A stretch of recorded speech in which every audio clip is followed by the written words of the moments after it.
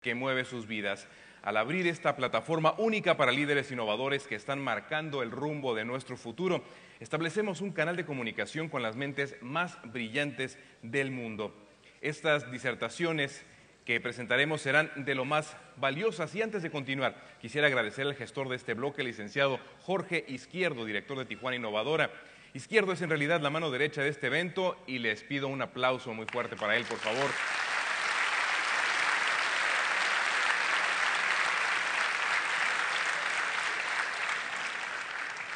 Y también para los afortunados que ya están ocupando sus lugares, queremos decirles que, bueno, además de esta primera conferencia magistral, habrá otras a lo largo de la tarde, como por ejemplo I Was a Robot de Wolfgang Flur, Ten Arquitectos de Enrique Norten, eh, que sigue en innovación y diseño, y Cambio de Paradigma de Lievano Science, para que no se las pierdan, están verdaderamente excelentes y 100% recomendables.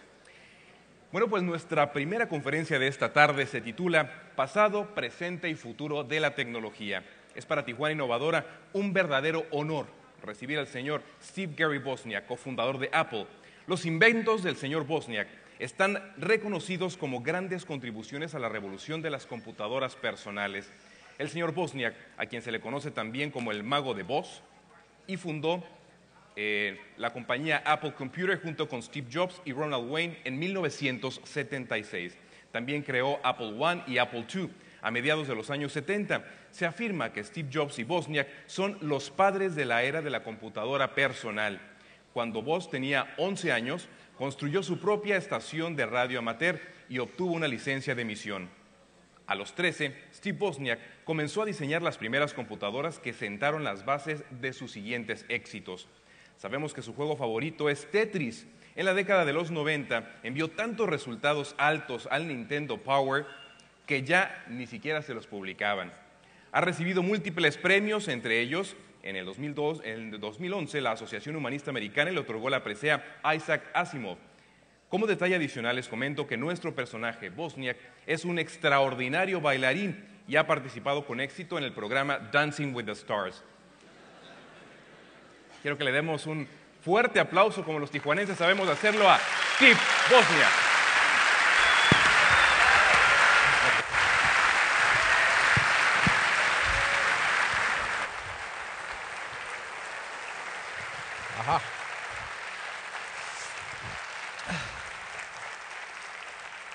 You are a very gracious audience. I met so many gracious people backstage. I wish we had people that gracious in our country.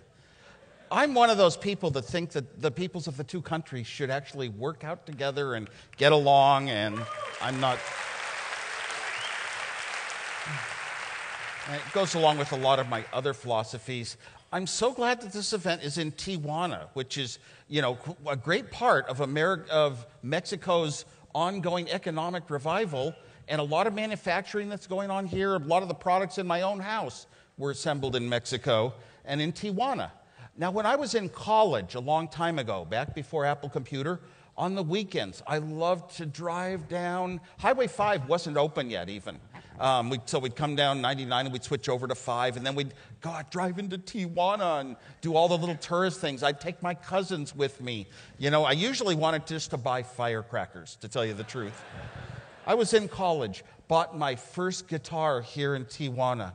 What an important part of my life and what it meant to me music and relaxation of playing yourself. So, many good memories of, uh, of this city. And um, so, you know, our lives have changed so much, and we have such wonderful technology that does incredible things that we could never imagine. What was the world like before we had apps to do everything? And, but the funny thing is, we're just in the infancy. We're just getting started. And, it's, and basically, these, these inventions and these devices, those of us who understood what computers were, how they could be powerful, how they could do things that were like thinking, even if they don't think, we wanted to bring this technology. We thought that it would affect the world in great ways, and we thought just one tiny percent of where it's really going. We thought that's what the change was going to be. It's, uh, so it surprised us quite a bit how much can be done when you can put such smart devices in such small space. Our nature as human beings, from the instant we're born, is to explore and discover things about our world, about our environment, how it works. A baby, the day it's born, will turn its head a little bit towards sound that occurs. And it wants to know what are these things in the world, wants to touch and find its way and, and learn things. Computers don't get that benefit. Computers, right now, we just think will program our knowledge into it. But someday, a computer is going to be like a human being. It's going to have to go through years and years of learning everything from walking to knowing what a house is, to what a kitchen is, to what a coffee maker might be, to maybe even being able to make a cup of coffee someday in my house like you could. Um, the keys to all of our technological advancement and creating new things math, science, technology, and engineering. No, it's not, not everyone needs to learn these things. Enough of us need to if we want to be skilled and enjoy being masters of making new things, but the world needs people of all types anyway in the world. Someday, in education, I am hopeful that you will get to choose from the earliest ages on, choose the direction that we take, the courses that we want to be graded in. Um, when I was young, I was taught that the purpose of technology, what engineers did, was they created devices that made life easier for us. For example, due to engineers, we had bridges so we didn't have to drive as far. And due to engineers, we had washing machines. Our great grandparents had to wash clothes with their own hands for hours. Oh, that was a terrifying thought. I thought, boy, they had a really bad time. You know, and that's not really true. They were just as happy as we are now, and they didn't need to do more. But I thought, wow, we make washing machines, and they have more free time to spend watching television, entertaining themselves, going to movies, and someday if we engineer enough things for the average person in the average home, we can all work four days a week instead of five days a week. Wouldn't that be wonderful to have a three day weekend? Well, now looking back, everybody in Silicon Valley, every family needs two people working full time, very stressfully, just to pay for a home. So somehow we didn't get extra days of work. We had got more work we have to do. I don't understand that part of it, but we were successful at creating the devices that make the world very different and the future very different. Um, I became a technologist very early on in my life, like many in this room. You discover that you like doing something. In early school days, the teacher said, I was faster than the girls at multiplication. They had never seen a boy that was faster than the girls. So I thought, I am good at something. I am good at mathematics. And I was about eight years old, and I decided, I like being known for being good at something. School is important, education is important. And education gives us a lot of little understanding of the lower elements of life that will make the really big important things out of someday. So I was mathematical. Now, teachers will tell you that by the time students are about eight years old, they can look in their class, they can tell which students really don't care much about learning anymore. They have sort of dropped out of the system. They aren't going to get better the next year or the next year or the next year. They pretty much give up that early in life you know and you can think of a lot of reasons why you know you're being graded and some of the kids have all the answers right away and you don't feel that good because you're in large classes and you're not the smartest.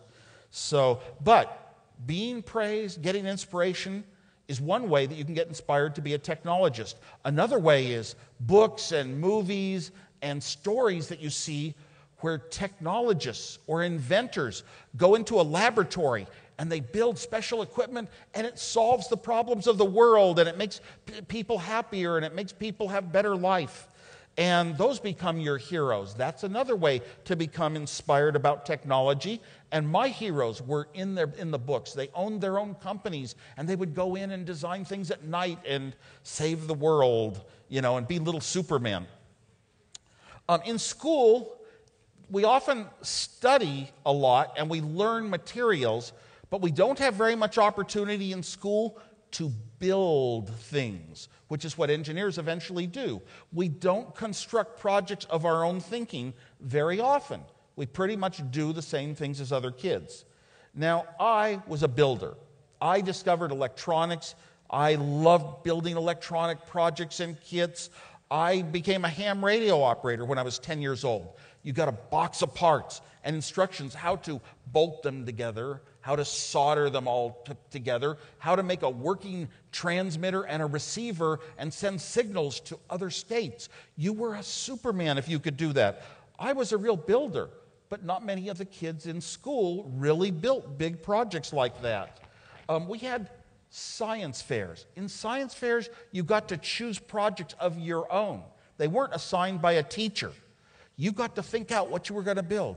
I accidentally stumbled on to the most important thing in my life a journal that described how electronic parts can make decisions. It's called Logic. It was so simple that a 10 year old kid could understand it all. You didn't need higher level math. You didn't need algebra, geometry, trigonometry, or calculus. You could understand it. To this day, a 10 year old can learn and understand every single bit of digital logic in every computer that's made.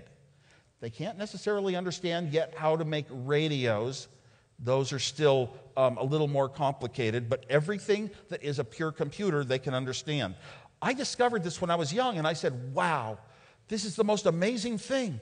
Computers were unheard of. You never saw a computer back then. They were further out than rocket science. They were in places called research or the military, but I knew that this was going to be the passion of my life. In my heart, I was going to study computers, learn ones and zeros, how to add them, how to make more decision devices for my entire life. Very early on, about when I was maybe 11 years old, I decided I wanted to build something with my little knowledge of logic. Logic were little devices like a light switch up is on and down is off. Simple little rules, simple little decisions. I looked at the game of tic tac toe. My father suggested it, that I could build a machine that would never lose the game tic tac toe. Huh. I sat down on paper for all day long, for two days straight, and played every version of tic tac toe that was possible. And I made a set of rules. The rules were how to make a move so you never lose. And then every one of those rules became a few little electronic parts soldered to nails that I pounded into plywood. Big, huge device, and it played tic tac toe. Well, I look back and I think, how could someone that young build something so huge and amazing and valuable and smart? But at the time, I didn't even think of it. All I thought of it was, it's what I love doing. This is just the most fun thing in for me in the world, and it makes me feel special. Um, and I started becoming so good at electronics that, you know, I became what they call a nerd or a geek. And I was known as an electronic genius in school, but I didn't have many friends. I couldn't talk their language. I wasn't in the social groups, didn't get invited to parties and that sort of thing. Okay, well, it just made my electronics more important to me. So it's often useful to look back and say, who is going to be a good, outstanding contributor in society, a good contributor to the world of technology. And very often, it's sometimes that person that was an outsider in school, that was kind of shy, that had to do a lot of thinking for themselves, but, you know, but really learn to believe in their own ideas and they don't have to match the way other people think. Um, the paradigm of school is something that we need to give attention to. You are taught the same pages as every other student in your class on Monday. You're taught the same pages on Tuesday, the same pages on Wednesday, the same pages on Thursday. You're all learning at the same time. If you if if John Johnny has a little problem and I can't go back and correct it because a few minutes later Betty's going to have a little problem and I can't go back and correct it for every single person. We don't have one teacher per student. We have one teacher per 30 students when we're young, when it matters. And that's a problem. And then we get tested on Friday, and a few people are outstanding, and they're the good ones that are going to go on in life, and the others feel like, oh, I'm not that smart. And that's, a, that's something we got to think about changing someday. I imagine the school that you can go to and say, I want to choose my grade is straight A's. I will come out as knowledgeable as anyone, but I might go in different directions than the other people, and I might go at different speeds. And I'm hopeful that someday computers will be a part of that paradigm shift. So far, computers in schools just are a tool that we use to do school the normal way. But um, I'll talk later on about how computers are going to fill that role someday. Um, in school, you're taught that the right answer, you are good, if you have the same answer that everyone else has. That is the correct answer. The problem is, it's not your own answer. It's an answer out of a book. It belongs to someone else. And you sort of learn through school and school and school that there's always an answer in a book and you just have to find it. You don't get taught very much to think hard and come up with an answer that is not in the book. That's the sort of thinking that we overlook, and yet that's the sort of thinking that is called creativity and leads to innovation and new ways of thinking and new products in our lives. Early on, I told my father I, was, I felt that education was so important a part of life to giving us the tools we needed to have a job and have money coming in and have a family and a home. And I said, I'm going to be an engineer first in my life, and I'm going to be a teacher second, a fifth grade teacher. 10 year old kids, like when I was so important, 11 year old kids. It was such an important time in my life, and these teachers meant so much. And I asked my father, Do the teachers get paid more than engineers? And he said, No. Eh. I was disappointed. But all through my life, I kept in my head, I want to be a teacher of young children who need good teachers, need to be inspired, need to be motivated. And eventually I did go back and I wound up teaching for eight years. Secretly, no press, little's known about that. Um, one thing we're not taught in school is to be skeptical, to question a teacher, will be called disruptive. We will learn how to calculate when two canoes meet on a river, but, we, but if we say, no, rivers aren't really the right speed, they never go the same speed, sorry, you're disruptive.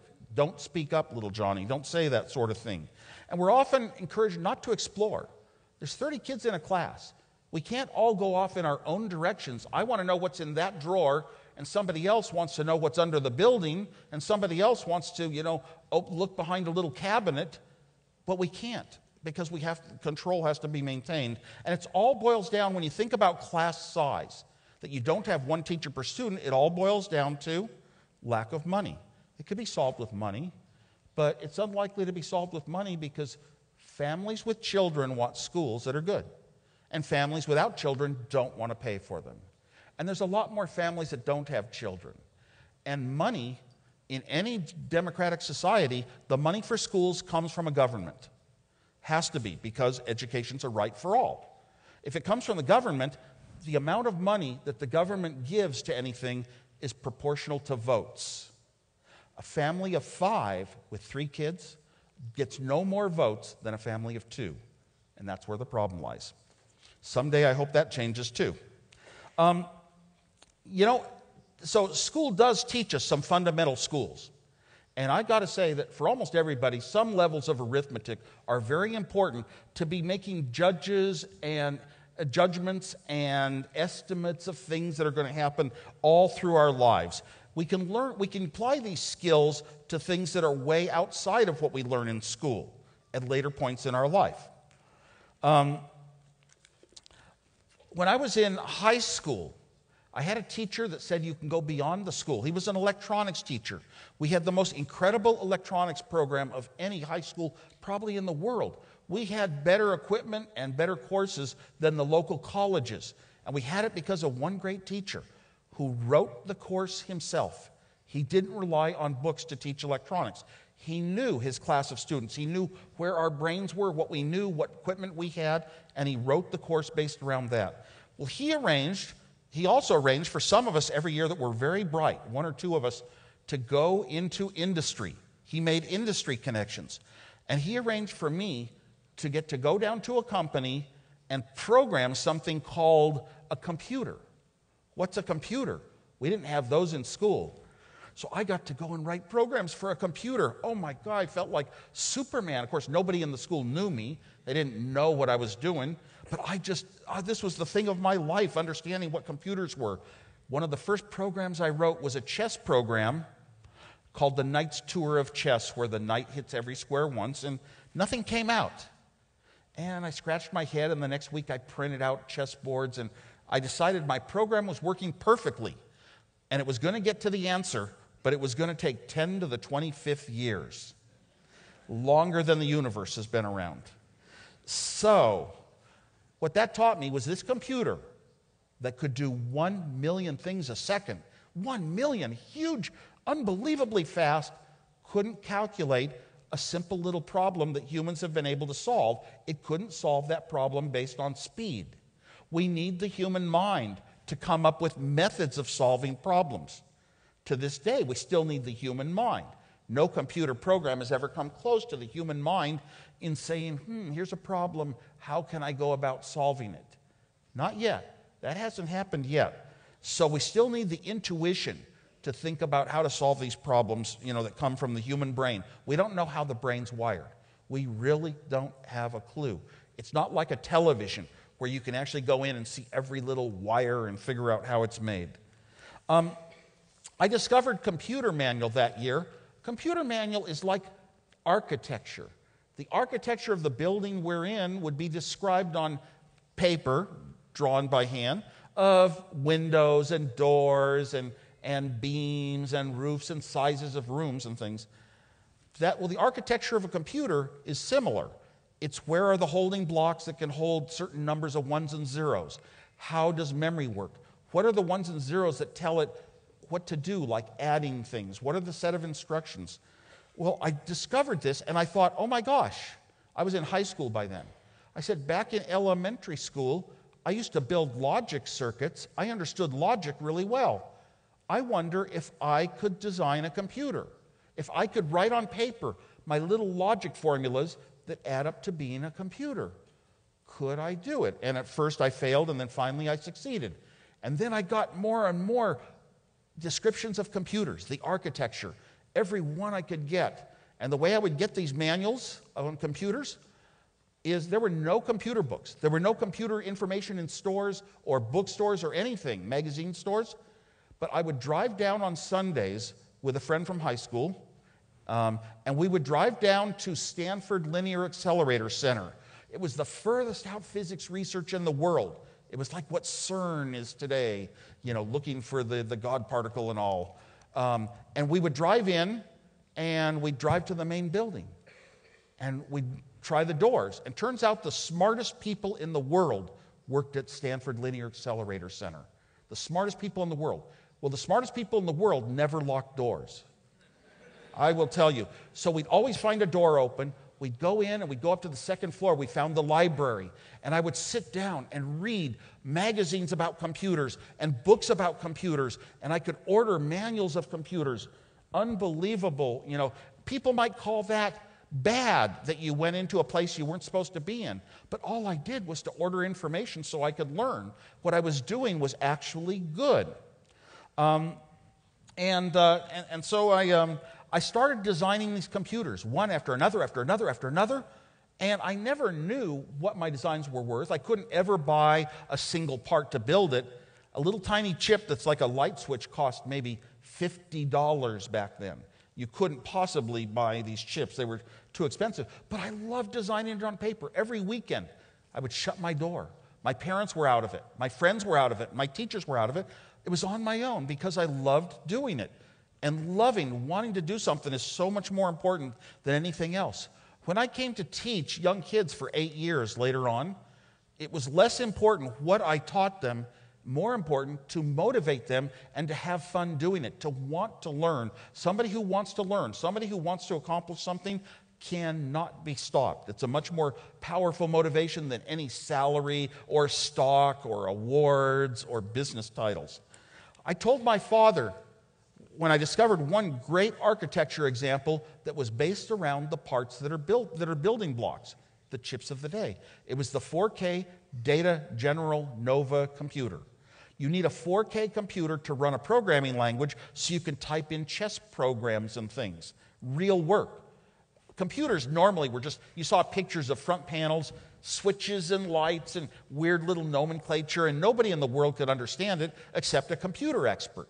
They just weren't like today. Front panels, switches and lights, ones and zeros, push some buttons, and some ones and zeros go into this thing called memory.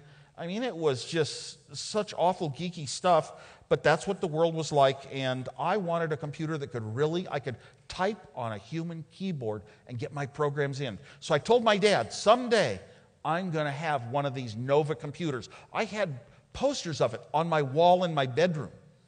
That's, that's how geeky I was. And friends and a friend of mine at school did too, when there were two of us. Um, and it wasn't Steve Jobs, it was another guy. So I told my father, I'm going to own a 4K Nova someday. And he said, How are you going to do that? It costs as much as a house. Uh, uh, I said, I'm going to live in an apartment. I threw down the gauntlet. I was going to have a computer in my life. That was an important goal of mine. And I didn't forget that goal, just like I didn't forget the goal of teaching um, in later years. Well, I went off to my first year of college, and computers were a graduate level course Introduction to Computers. Introduction was graduate level. Because I was a freshman in engineering, I was allowed to take the course. And I got an A plus in it because I knew so much about computers already. And I learned a ton that year, and I started writing programs that calculated valuable scientific tables of numbers. I ran so many programs, I ran our class budget five times over. I was doing something good. I was learning how to write programs on a computer, how to solve things, how to get tables of useful numbers, but it was treated like, oh my gosh,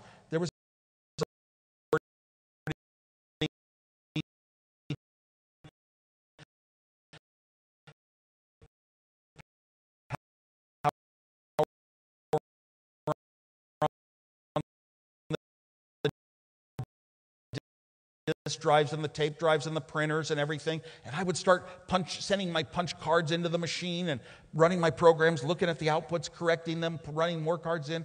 Had great time. And we'd shut the thing down at four in the morning and nobody knew we were there. I was doing a good thing. A computer was sitting there unused, and I wanted to educate myself and learn how to use it and write great programs. I wasn't doing anything bad, no vandalism, no destruction, but it would have been treated as though it were bad what I was doing. After my second year of college, I wanted to pay my own way through college. My parents didn't have that much money, and so I went to work for one year to earn the money for my third year of college. And thankfully, from the minute I was out of high school, I never had to worry about a job. I was so skilled at all kinds of engineering, I could always run down to an electronics company and get a job. I didn't go through what most young people go through, which is worrying about what they're going to do and what kind of job they're going to get after college or something. So I went to work at a company. I walked in the door by accident and found they were designing a computer. I got a job for a year programming that computer. And I went in at night to run a program of my own, just for me. And the program calculated the esoteric mathematical number E to 138,000 decimal places. And I went in, I ran this program, and somebody else came in. And they saw me doing it, and they acted like what I was doing was bad and wrong. It wasn't company business. Here I was educating myself, you know, taking, taking a computer to, you know, its limits and doing amazing things, and yet it was treated as though it was bad because it was unusual. So just wanting to do things that are new and different, you sometimes get that feeling. I ride a little two-wheeled Segway. And very often you go up against people that just want to get these segways off our sidewalks, get them off our streets, get them out of our parks. And it's only really because it's so new and different and they don't understand it. But that was good. Well, at that company where I worked, an executive heard that I used to design any computer in the world I could design in two days. That was roughly how good I was. And so he said he'd get me the chips if I could design a computer. I went home. I designed a very small computer. I brought in my design, and he got me the chips to build my own computer. I had to make a phone call and find some memory 256 little dinky bytes of memory, but it was enough to make this little machine work. And I had switches on the front ones and zeros, ones and zeros. Push a button, and the ones and zeros go into memory. So it was like computers are. I knew computers very well. I built this little computer. We drank cream soda while we built it. So Bill Fernandez and myself called it the cream soda computer. And Bill said, You should meet this other guy from our high school, Steve Jobs, because he knows digital electronics and he also likes to play pranks at school, jokes. And I was well known for that. So I met Steve Jobs around that time. And we talked about what we knew in electronics. And he wasn't really a designer like I was, but he had been around it. He had taken the same electronics course from the same teacher at our high school. And, he, and we were in the counterculture movement was very big in the San Francisco area. And I admired all these people that talked about living life very differently than you ever thought was possible, very differently than normal. I admired that. And Steve became more of like a real hippie. My feet were solidly on the ground because I was so smart, I would always be able to get a job and have a family and be normal. So I didn't really go off and do a lot of the hippie things, but Steve was younger. And he would walk around in bare feet and a little sack of seeds that he would eat from. And he would talk about, you know, Eastern religion and go over to India. He was more like a true hippie. And, and to tell you the truth, you know what? And, and, and, and a lot of movies are probably going to make a point that, oh my gosh, a lot of drug use led to what Apple became. Um, I never once saw Steve doing drugs. He never talked about it with me. So it was very subtle and minor and kept out of my view, at least. Steve talked about a couple things he'd done at high school. They had taken clay and take a photograph, change, move the clay a little, Take another photograph, change the clay, take another. It's called claymation, and it makes movies. Where did that come out? Pixar Corporation, years and years and years later. Um, I don't even know if Steve remembered how he, how he uh, talked about that when he was in high school. He also talked about a book he'd read called Atlas Shrugged. And he talked about how in Atlas Shrugged, there's only a very few people that are like the Shakespeares and the Isaac Newtons that move society forward, that are important for actually getting things manufactured and done. And everybody else sort of is just interchangeable and waste and can be uh, treated like nothing and fired at will. I didn't like that kind of talk, and it's a shame that it kind of, um, I think, influenced Steve quite a bit in his life. Well, I drove Steve up to college, and he did not like the fact that they told you what courses you have to take. That's how counterculture he was. So he never took their courses. And he never paid money, he just stayed with friends in the dorms. And he never paid tuition, but he just went to classes and sat in to interesting ones so he could learn a few nice things. Um, very different style of life and education, but he was very young and his personality was forming. I, meanwhile, he was up in Oregon and down in the San Francisco area, Hewlett Packard was making the iPhone 5 of its day. It was called the Handheld Scientific Calculator. Within five years, every engineer, every scientist got rid of their $10 slide rules and bought this $400 calculator because it could calculate numbers in a display. You could type them in that was accurate, it was fast. It just everything that engineering is about, that calculator solved. It, even in a recession, it made Hewlett Packard a profitable company. Even though every other division of Hewlett Packard was losing money, our calculator division made money. Well, they heard I was a great designer. They brought me in and they interviewed me. I didn't have a college degree, I had had three years of college by now. Um, but they hired me on the spot. Oh my God, how incredible a thing in life to be hired as an engineer designing the best product in the world. I came to love Hewlett Packard. Hewlett Packard was full of engineers. It was driven by engineers because back then, Hewlett Packard was building the tools that engineers used. So every one of us engineers was building the tools that we would use ourselves. So we understood the users, we understood the market as well as theoretical marketing people did. Values in that company, you were allowed to communicate up and down the chain of command in Hewlett Packard. It was, there was never anything wrong with going above your own boss and talking to somebody. The, the founders of that company made it that way. It was called the Hewlett Packard Values. They made parts available at night to any engineers that wanted to work at night. They made parts available to engineers like me for anything of my own design if my supervisor approved. So if I wanted to build something, with chips, I, had, I could take these little $1 chips, very inexpensive type of education for Hewlett Packard. They felt that the education of their employees, the development of their own minds, was what made it valuable. Um, so I would design calculators in the daytime. I'd go home at night, and I had no chance in those days of having a girlfriend or a wife. Tell you the truth. So I would watch Star Trek, and I would eat a TV dinner, and then I would start working on my own projects. Many great projects involving technology. The very first dial a joke machine ever in the San Francisco Bay Area.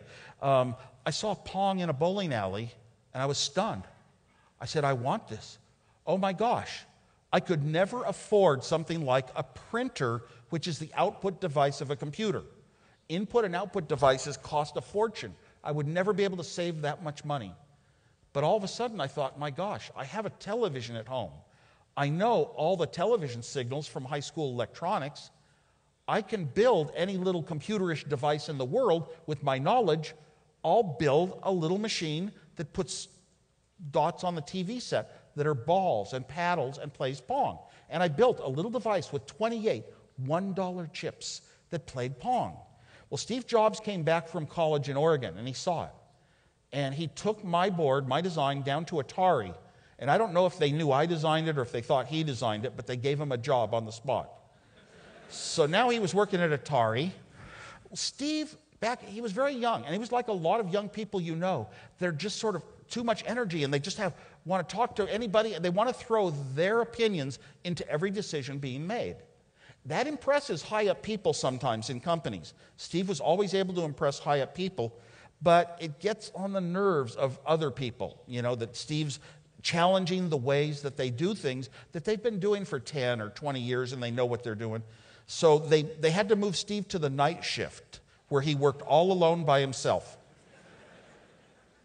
And I didn't know that at the time, but looking back, I can totally understand it. So, we, Steve, Steve came to me and said, Atari is, is tired. The, the owner of Atari doesn't like the fact that their games, their arcade games in those days, are taking, it was hardware, not software in those days. They're taking 90 chips, 110 chips, 130 chips, 150 chips, 190 chips for a game. And they know that I design things with almost no chips at all. I had become so skilled. I was known for this at Hewlett Packard too.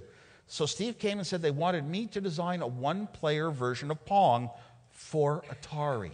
Atari was in Los Gatos, California, where I live now. Los Gatos, California is very proud of having been the birthplace of arcade games. But Los Gatos is even more proud of a different invention that came out of our town, which was the pet rock. Some of you might have had a pet rock in time, probably still own it. So I designed, I went in, Steve said, okay. I said, I would love to design this game for Atari. I'll design a game that young kids that I love so much are going to play in, in bowling alleys and in arcade centers. And Steve said, there's a hitch. You have to do it in four days. This was a man year project. Four days. Okay, I was the hottest designer in the world in my mind. And I told him I didn't think I could do it, but I would take the challenge on. And I sat down. I did not sleep for four days and nights. I got mononucleosis, the sleeping sickness, and so did Steve Jobs. And I came up with some clever, clever, clever designs my way, and we delivered a board to, to um, Atari for the game Breakout, where you hit balls against bricks. So that was mine. While I was there, I was in a sleepless state. My mind is kind of going in and out, not knowing exactly what's real all the time. And all of the games on the, t- the floor had these big old televisions, the old style hot televisions, and they were all black and white TVs. One of the video games on the floor had a little dot moving from left to right and right to left, just going back and forth on the screen, changing colors. And I thought, oh my God, did they actually make a color version?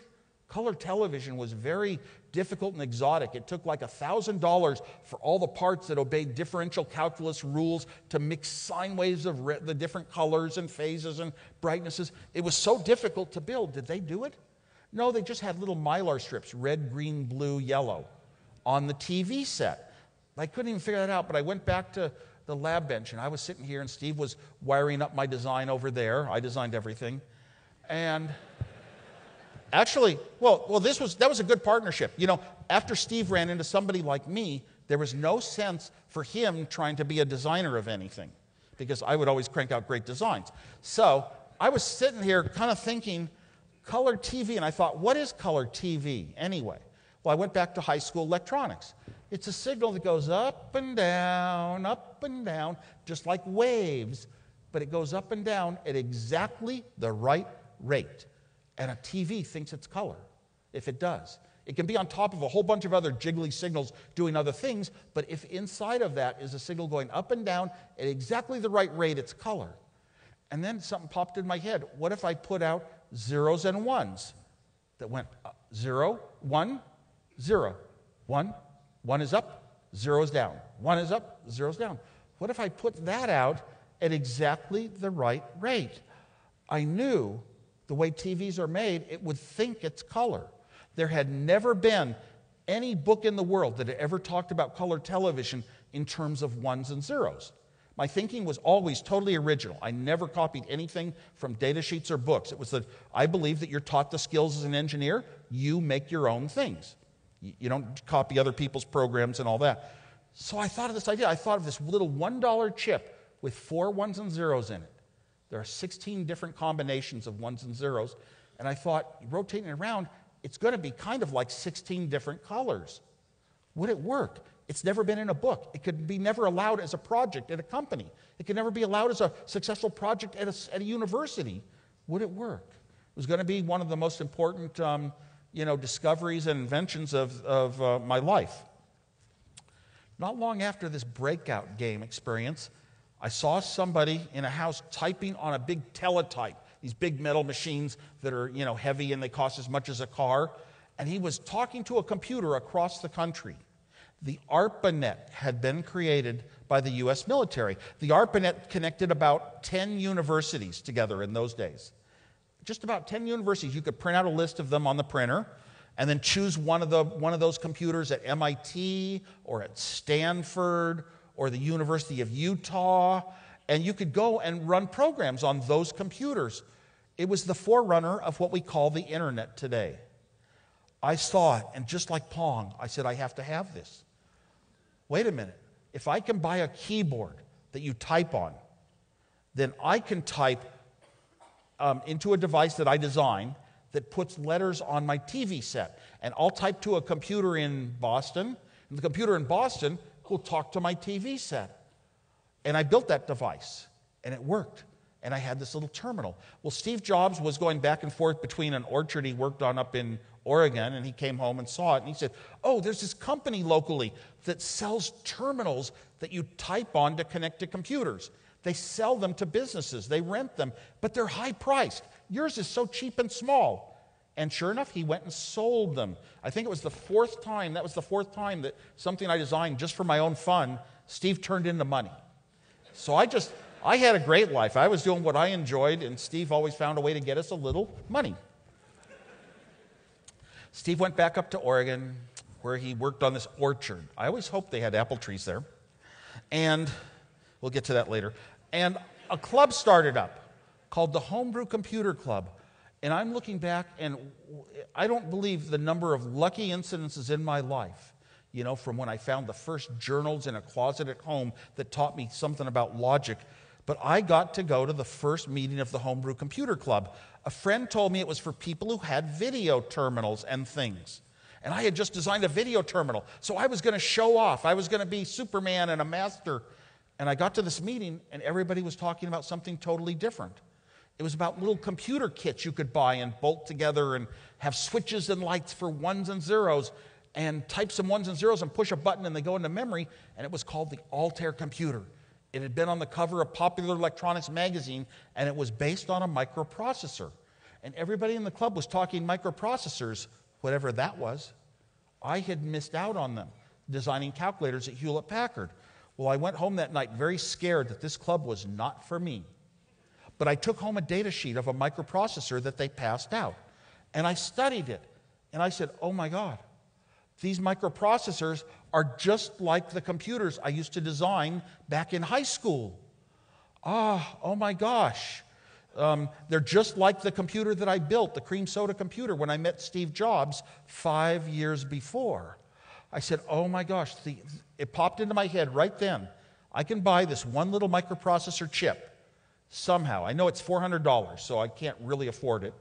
But I can buy a microprocessor chip and plug it into my little typing terminal, and now I can type to my own computer and it can type to my television set. Uh, so I had the formula in my head for how to build a 4K computer that night. Um, how to build a 4K computer that I could type real useful programs into. And eventually I got to work. I found a microprocessor I could buy for $20. It was a newest, latest, greatest. It wasn't Intel overpriced $400 type strategy. It was something a person could buy. There were no stores that sold chips either. But this one was sold at a, at a show in San Francisco over the counter. I bought some, friends of mine bought them, and um, I went together. The, the heart of a computer was you didn't want, I didn't want a front panel. I'd done this back in elementary school. I had built projects with, where I had to drill 100 holes and mount 100 light bulbs and 100 more holes with 100 switches to toggle all the different combinations of electron orbits in the different molecules. I'd done that in elementary school. I didn't want this big mechanical front panel world anymore. I had built a computer with switches for ones and zeros five years before. I didn't want that. I wanted to type like I was typing to a faraway computer on a terminal, but I'm typing to my own computer and it's playing on my home TV. And one of the keys to it is you have to have 4K bytes of memory to have a programming language to enter useful programs so you don't have to push buttons to get ones and zeros into memory. 4K dynamic memory was the key. The 4K dynamic memory chip came out that summer and of our club and I bought some of those. You could afford for maybe about $50, you could get 4K bytes of memory. Every other little hobby computer in the world that was saying these new inexpensive machines are going to change society, change the world, they were all using expensive static memories. Nobody else was being a good designer because dynamic memories, just like the memory in all your computer products to this day, has to be refreshed over and over, and um, it takes extra circuitry. But I, I, was an engineer, and to save, I saved 24 memory chips, and it only cost me about five chips to keep it from forgetting what it knew. Well, this club, we had meetings, and people were talking about how computers were going to alter education. A student was going to be given a problem, type in their answer, and be corrected instantly. Oh, they were going to use 100% of their brain instead of just 10% of it, like in normal schools. And I got scared. I got scared that all these youngsters were going to be smarter than me now. Of course, I do feel that in quite a bit of ways. We also talked about communication. You were going to be able to type a message to a big computer over a modem and other people with modems would dial in, and 100 people in an hour could read the message and find out that the war protest march had been moved to a different street or whatever, whatever you had to communicate. And we also had the idea that the young person who knew how to program a computer could write programs to solve the problems of life. That, young, that person could take their own little computer into work. They could type in their company's financial data and out would come the answers of what the company should do. Much better programming than the big, huge million dollar computers the companies already had. Much better than the high paid programmers could create. A 10 year old would write a better program. I loved these social ideas and thoughts. So when I designed my computer, I took it down to the club. I demonstrated it and I passed out my designs to everybody for free. No copyright notices, no nothing. Here it is. Build your own. Help this revolution get started. Help it happen. It was so important to me. Well, Steve Jobs came back down from Oregon once, and he came to a club meeting, and he saw the interest in my computer. People wanted to build it, but they didn't have building skills like I did. Well, Steve Jobs said, let's start a company and make a pre built PC board. All they do is plug their chips in, and then and they just solder them in, and it saves them all the time and effort. We'll make this PC board for $20 and sell it for $40. Now, Steve thought that way because he had worked briefly for a surplus electronics store where they would buy switches for six cents and sell them for $60. They knew what things had what value. And he was used to being able to, you know, sell very low cost type things. You know, a lot of things in a surplus electronics store I mean, they might have bought them for a penny, but they'll sell them for $3. That's the only place you could even buy chips. So he wanted to sell this small little ingredient. And, you know, we'd have to invest a few hundred dollars each. We were young, we were in our young 20s. We had no money, we had no savings accounts, we had no parents or friends that could loan us money that were rich. We had no business experience. We had not taken a single business course or read a book in university. But, you know, I said, I didn't think we were going to make money. And Steve said, Yeah, but for once in our lives, we'll have a company. We've been doing so many things together. Well, who could turn that down? As soon as somebody said, You don't have to make a profit, I'm in. I'm doing it for other reasons. Um, I, did, I did love my company, Hewlett Packard, so much. I was going to be an engineer for life. I didn't want to move up the org chart and boss others. I didn't want to get political. I didn't want to fire people. I didn't want to tell them bad things about what they were doing. So I was going to be an engineer for life. And, and uh, this company was like family to me. During the recession, a lot of companies laid off 10% of their people, let them out on the street without a job, without an income. Hewlett Packard instead reduced everyone's salary by 10% and gave us every other Friday off which was great for a young engineer. So the youngest person in the lab didn't get fired. I really admired them for that. And it was treating us all like we all work together and we're all friends of each other and we help each other out. Those of us who have give to help those of us who need. Um, so I would never do anything behind Hewlett Packard's back and I would never quit my job. So I went to Hewlett Packard and I pleaded with them. I described the computer that they could build for $800 with color and everything, and they turned me down. And they turned me down for some good reasons. Hewlett Packard would have built the wrong computer. They wouldn't have built a nice, fun machine that belongs in a home. They would have built a dull, boring machine that engineers look at and know how to use. So it's a good thing Hewlett Packard turned me down for the first of five times. They wound up turning me down quite a few times. So Steve and I were off with our own little company we uh, got another friend to come in with us and he typed up a little partnership agreement. It wasn't a full corporation or anything. We did things, what you can do with no money. How do you start a company with no money was part of the problem. And we had a little partnership, three of us. Ron Wayne had 10%. He wound up selling his 10% out for um, later on for just a few hundred dollars. But he was afraid that if there was any financial problems, Steve Jobs had no money. Steve Wozniak had no money, so he was going to have to pay. So that was part of his thinking. And he, and he really didn't think that it was going to go far, you know. And even our parents told us we were working more hours than we could ever really say we were making money. We weren't really making money yet and with some of our little projects. But we were young and we were having fun. And we had our own little company named Apple Computer. And how neat it was to always be at the top of the charts in alphabetic order. Um, Steve would, was always questioning taking these computers to a much further place. Me, I'm working on coming up with clever designs that never existed before to put color into a machine when nobody ever thought they'd get color in a computer, a low cost computer from day one. Nobody ever thought they'd have graphics where things can move around on a screen and you could program games by just changing numbers in memory. Nobody thought you'd have pixels on the screen like photographs. All these things were in the Apple II. Game paddles for game playing built in, and it was fewer and fewer parts than any computer that had ever been designed in history, really. So it was an amazing, amazing machine we had. But um, Steve was always asking, Can you add a disk? I said, Yes, yes, yes, you can someday, because I know you can always add everything. But my head is working on getting all the code done, getting the computer doing all of its things. I had to write a computer language. Remember, you don't have a useful computer unless you can type in your own programs to solve problems. Well, there was no programming language that came with this microprocessor I bought for $20.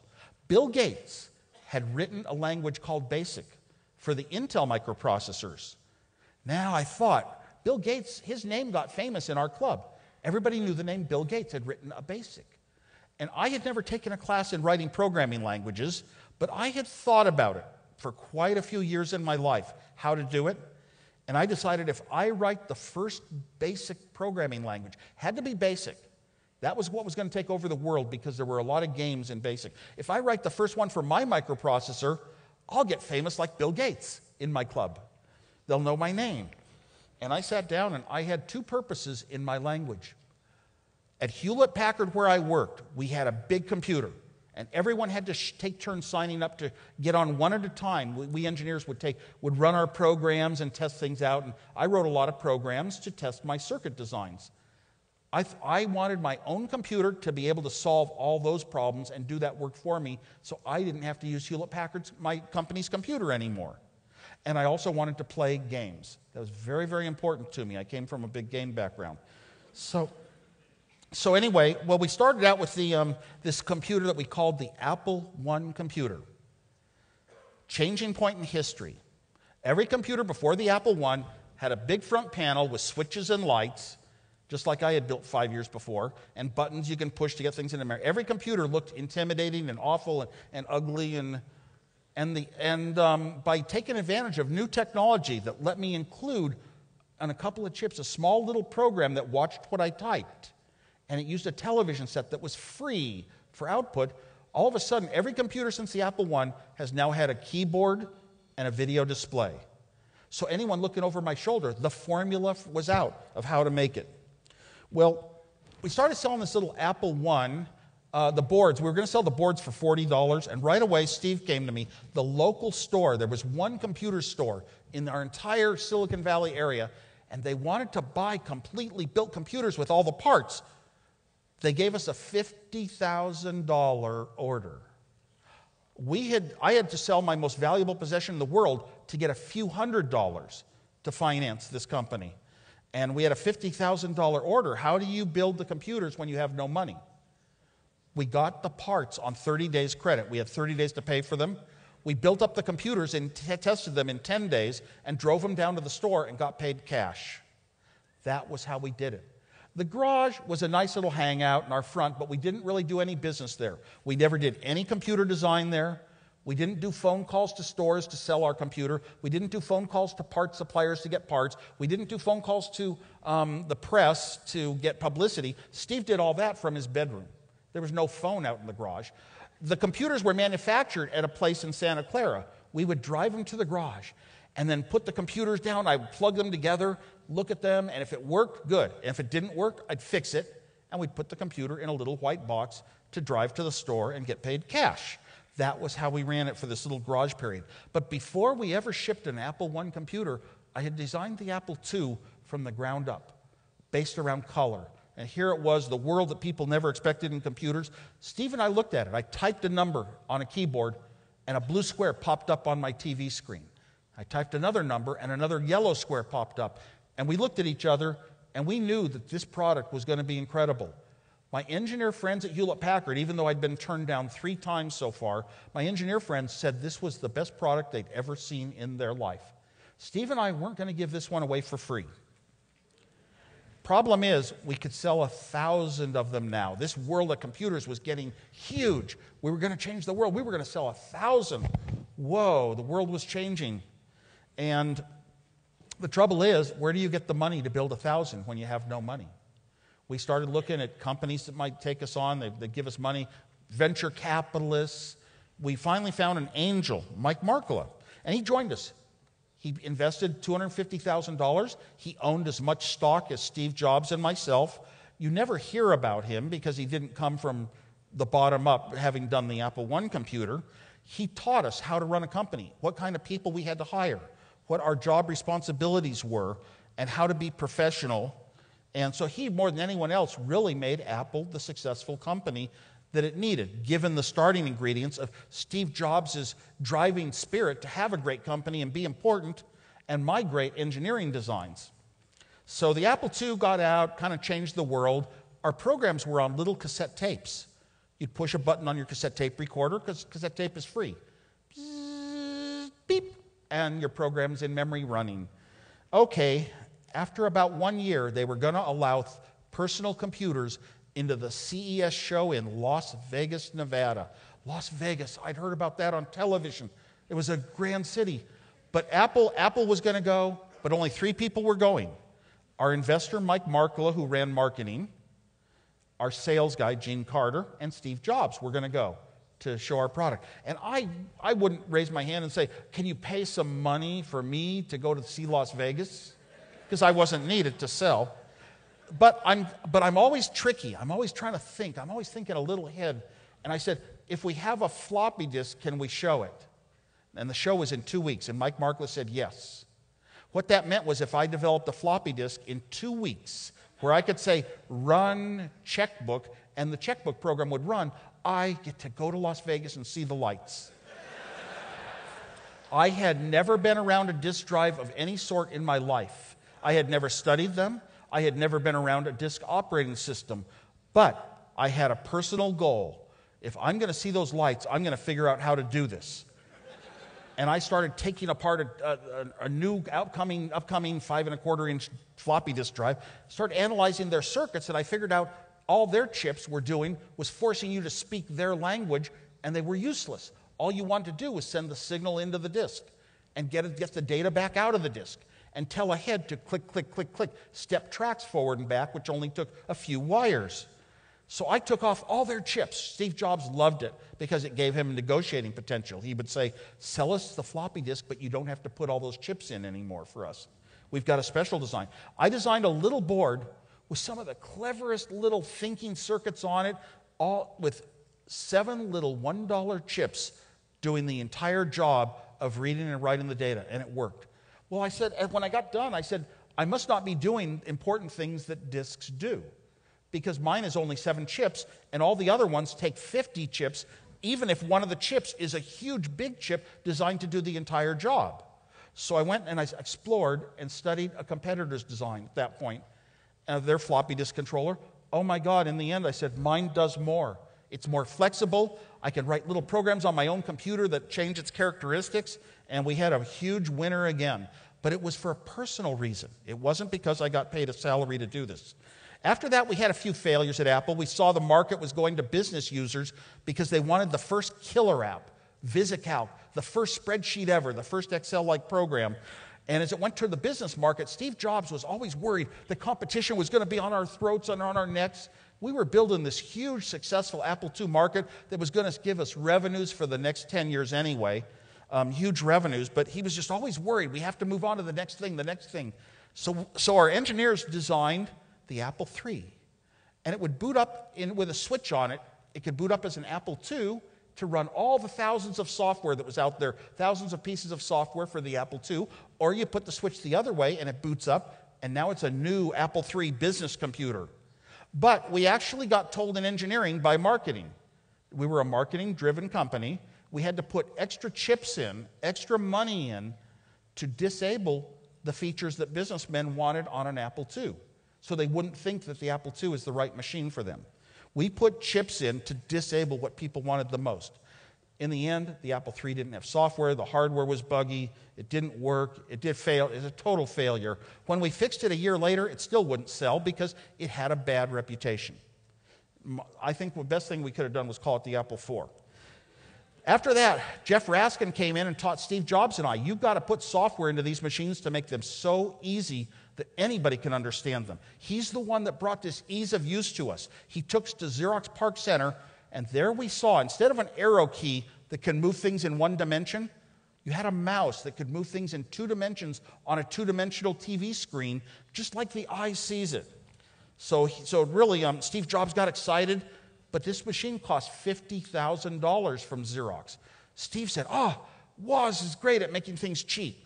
We at Apple, we're going to make this at human prices. And actually, we started a program. We developed the Lisa computer, but one megabyte of RAM is all it, is what it took to do the job right.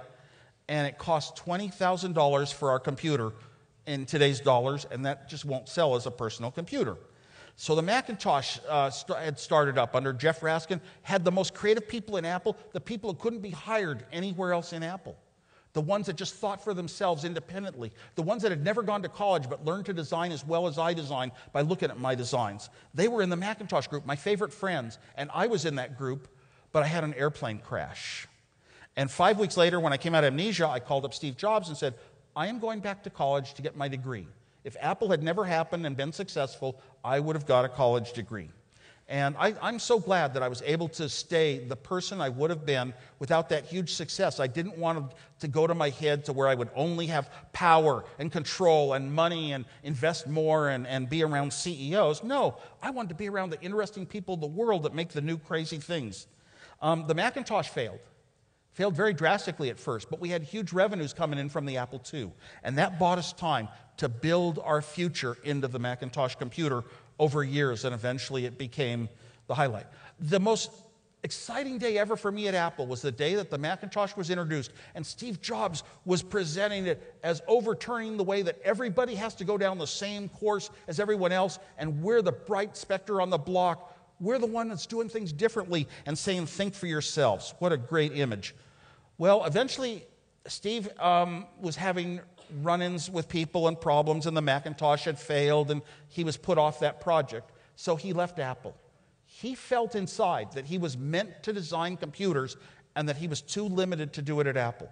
Steve had been very young in his approach to the company. He always wanted to be involved in high level decisions, but he wasn't patient and had the ability to communicate and deal with people the right ways. Well, he went away and he formed his own companies. Uh, Pixar came out of it, and he had this company NeXT. He learned to be an extremely professional businessman, to worry about all the different aspects of a company that makes it succeed or fail in terms of profitability and great products that you can build. So when he returned to Apple, because Apple had some low days, we knew how to keep making Macintoshes, but they were just, and they would sell into the Macintosh market over and over. They were newer, better machines, but they weren't special. They weren't that piece of jewelry that you see in Apple products today. So Steve came back and he wanted to bring us back to the origins. And his first time on stage, I had tears in my eyes because I was hearing the words that were like the way we started Apple and the reasons we started it, and we wanted to make the greatest stuff, and it wasn't for money, it was for the world. Um, the great products that changed our life so much in recent times took a few years to come out, and it really started with the iPod. You held the iPod in your hand. You couldn't judge this machine on paper specs very well and say it was going to be so great, but once you used it with your own physical hand and, and swirled things around and scrolled through menus, and it, it was the greatest music device of your life, and you would never want to use any of the other MP3 devices that came out. The best music program in the world was on this tiny little, the Macintosh only had 10% of the market or less, but we had SoundJam at first was only on the Macintosh. We bought them and called it iTunes, and we made it into iTunes. What an incredible idea to sell music not in record stores and to actually have real, real authorized sales. Who would have predicted, you know, that we would just turn things over and you could hardly find any CD stores anymore? Music distribution was going to go to this internet idea. Steve was always looking way to the future and was inspired by the fact that things happen out on the internet, not right where you are, but they can be what you need to use, and they come over wires. He had that ability to see the future and the vision. The iPhone was one of the greatest inventions of all time. I had been around, I'd been on boards of companies that made internet phones that could do email and browsing and YouTube and stuff like that a little bit, but they were kind of clunky. Here came the iPhone. It was the first one that was a miniature computer on a phone. It was a computer in your pocket, and that changed the world so much, and I'm so glad for it. Apple now has a world of products that all work together. Apple has used to have one company. It was a computer company, and it was very big and successful. But now we've got a whole bunch of other companies that are just as big and important and successful. We've got the iTunes company. We've got the iPod company, We've got the retail stores that are so incredible. We've got the iPhones and we've got the iPads. These are all such so huge in the world. We're many companies in one. The way we can do it is they all work together. They're not independent companies. They all work with each other. And it's that kind of unfortunately, it's a little bit of a closed mentality that sometimes guarantees you the best result with products. I don't like things closed. The Apple II was wide open and made it successful. Well, every step of the way that I've seen in computers, they've gotten more and more like a real human that you're dealing with. When I got my Newton MessagePad from Apple, I hand wrote a note to myself Sarah, dentist, Tuesday, 2 p.m. And I pressed a button called Assist. It opened up my calendar. Tuesday at 2 p.m., a note for the dentist, Sarah, out of my address book. I wrote the note for myself, a human, but this computer understood me. Ever since then, that's how I want computers to work. Now I would take Siri and say, What are the five largest lakes in California? one, two, three, four, five, I get the answer. Oh my God, I'm speaking the way normal people speak. I don't have to think about following procedures. I'm tired of typing and working my way around typing procedures. Anytime I can to send an email, to record where I'm checking in, I want to do it with my voice because it's so simple. And I feel like my brain is working less, and technology should make us work less. There's a great future in natural language because of processing so much of this natural language, and eventually we're going to be processing video from your devices. My little device has all of the human sensory elements almost. It's got a sense of touch, like I have a sense of touch. It knows how it's moving, like my inner ear. It knows where it is from GPS. I don't even know that. It can hear me with its ears. It can see me with its eyes. Someday it's going to be watching the world as I go around and telling me, oh, something you're interested in is over there and answering all my questions as they come up. It's going to be like a person, and I'm going to talk to it like a person, and it's going to know my heart and soul better than I do. Computers are going to be conscious, maybe 40 years, so it's a long, long ways off. But that's going to be a big day because finally, a computer will be like a human teacher and we'll be able to have one on one teaching. Um, data centers have to process all this information, speech and video. More of the, the calculations of the world, when you use your products, you think this product's really smart and it's got a big computer inside. No, it's always going over the internet through apps. And most of the processing, most of the information is taking place out there on the cloud, on the web somewhere. And data centers are going to be growing for ages and ages. I'll tell you, I don't know why there aren't. There should be some big data centers here in Tijuana. That'd be a great uh, future. Thank you very much. We're going to move on to a few question and answers. Thank you very much for listening.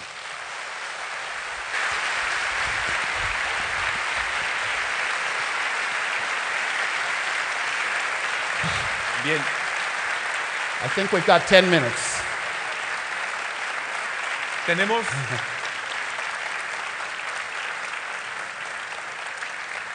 Tenemos poco tiempo, por lo tanto le eh, tenemos tiempo únicamente para tres preguntas. Les vamos a pedir que sean muy concisos, que sea la pregunta así como por qué, para qué o lo que sea, pero rápido para poder aprovechar el tiempo. Primero vamos a, a este lado.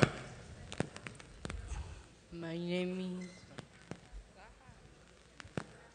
Hello, Steve Jobs. My name is Daniel Baker.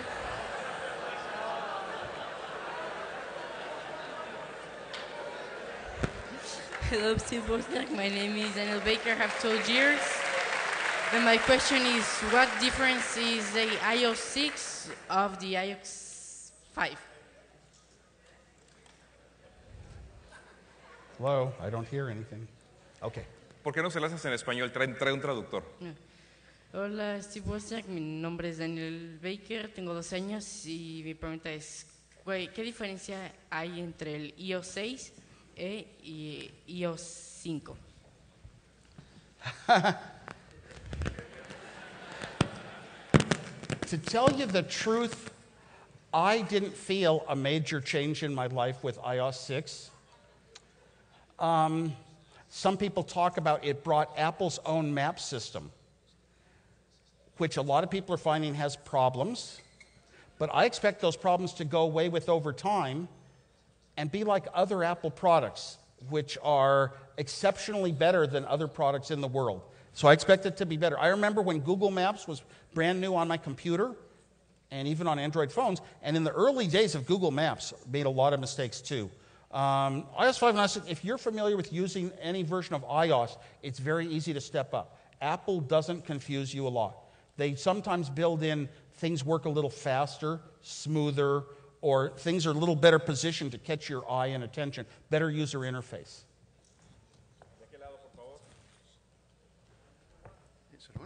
Mr. Wozniak, uh, I understand um, you, the importance of education, as you mentioned.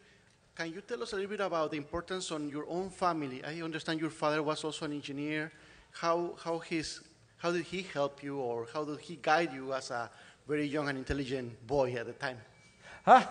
Well, I was very lucky um, for I had a great father who not only was a great engineer, but he would never impress his values on those of us in the family. He would point out alternatives, different ways that people think, and then he would let us choose which way we wanted to go in life. I'm the only one that chose to be an engineer like him. I liked going to his work and seeing little signals on screens and seeing what engineers do. I saw how hard he worked. But more than that, he was an excellent teacher. When I had a question, how can you make this sort of a thing? He would pull out a blackboard and teach me very patiently, very simple, never leave me behind, never act like it, like it wasn't something I should, I should learn and know how to use. So I was very lucky. And when I had children, I brought, I t- brought them up, I hopefully the same way. I didn't try to impress my values on them, just tried to educate them. And I had very extreme patience, which turned out to be a blessing. I found out that I was a good teacher when I taught for eight years. ¿No hay nadie acá? Entonces, tenemos la tercera pregunta, tercera y última pregunta. Hi, Steve Wozniak. I'm Javier Murillo. I'm a computer engineer. What do you think about uh, intersection of medical uh, engineering? Medical internet. No, bueno, uh, I can speak in Spanish. Well, ¿qué piensas acerca de la medicina, y la intersección de la medicina y la, compu- y la ingeniería en computación? The information, uh, the, the intersection of medicine and computer engineering. Well, there are an awful lot new devices. We're getting close to the point that, well, doctors are very well trained. They learn a lot, just like engineers. And believe me, engineers, good engineers know have to use as much intellect as a doctor. They don't just don't get paid as much. they have to know as much as any lawyer, much more to deal with and get their stuff done, but they don't get paid, you know, a tenth as much. Um, but we're getting to the point that we're going to have machines that can do very good personal diagnosis and help lead you to conclusions and tell you what medications are necessary. And it's not going to nec- necessarily become from a human. So we could cut the cost of medical practice hugely that way. Of course, the doctors will have to find have to become engineers there are it's very interesting right now that okay i've got devices that measure my blood pressure. They take the reading into my iphone. It's automatically put on the web and my wife and my best friends can actually see it and so can my doctor if he wants. These kind of little advances in the communication of uh, medical condition are going to be very useful. Um, so uh, it's going to gain some level of popularity and you're going to run into problems when it gets into actually prescribing medicines Muchas gracias por todas sus preguntas. Um,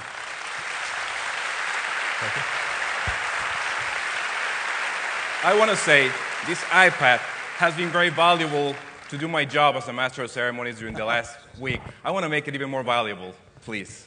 Oh my gosh, yes.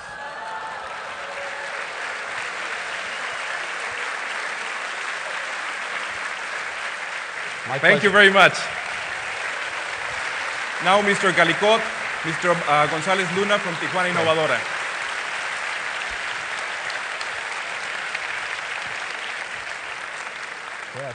Fíjense que en la parte financiera, cuando planeamos la posibilidad de que viniera Steve Wozniak hace dos años y medio, cuando quisimos que viniera, este, eh, fuimos muy listos realmente porque invertimos en acciones de Apple y se han centuplicado. ¿eh? Para nosotros, ¿qué- ¿cómo que se siente ver a un personaje humano que ha creado tantas cosas, que platica de las cosas con una sencillez tremenda, que habla de sus emociones, de su familia y de sus ideas? Con una con- quiere decir que es posible, ¿no? No hay gigantes, es un hombre genial y precioso. Y gracias por estar aquí. Thank you very much for being here. We're very happy to have you here. Thank you so much. We, we have to do something. We have to do something. We have to give this back. Give this back to him Okay. and uh, give this. Um, I would, yes, I would rather be known as being a generous, good person than designing the Apple computer. you and are a generous starting the revolution. And I can share one small story about Mexico, Mexicans. Yes. When I, I lived in Cuernavaca studying Spanish one summer, I met a young gentleman in high school in Mexico City. He was so brilliant. And back that, long, long ago, more than 20 years ago, he didn't feel that what he needed to be the best mathematician in the world was offered in the university in Mexico City. And, and I, like I did with many, many people in those days when I had a lot of money that I didn't want, I would give them money to help them in their life. And the, I made a principle you don't pay me back money. You pay me back by when you're successful, you will help other young people that need your help. Well, and this was long before that movie. I, I did this with everybody over and over uh, in my life, long before that movie, Pay It Forward. But Arturo, I paid for his education in London. He came to work, he wanted to work for a company taking this brand new thing called the internet and putting avatars on so you could play games and see other people walking around looking like real kind of walking caricatures. And he turned down like a million dollar offer from Microsoft because he didn't want to be influenced by money. He wanted to do pure good things for computers. He wound up, that company went under. He wound up working for Yahoo in charge of their encryption. And then now he's in charge of software at Facebook. A very incredible story for development. And he, we have lunch, breakfast all, every, uh, regularly, and he always tells me of who, what young people he's helping and how he's helping them find things.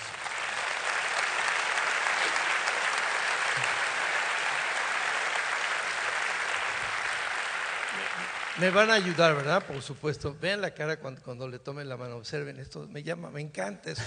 Excuse me, sir. Okay?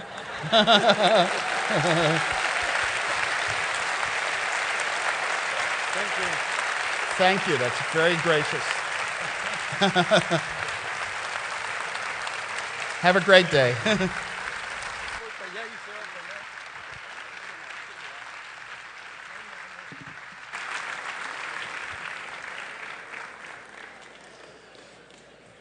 Bueno, pues.